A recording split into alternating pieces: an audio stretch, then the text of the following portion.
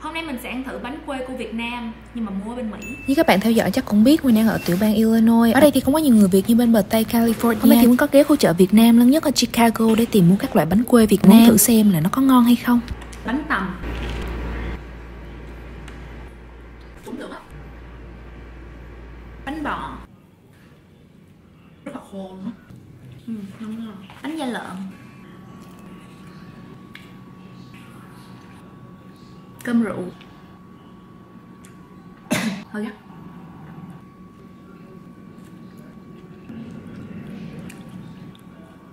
Phần bột hơi dạt Xôi lá cẩm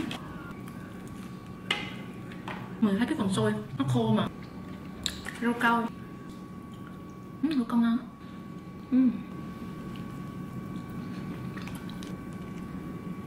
Dạ bắp Cái hột bắp nó khô lắm luôn á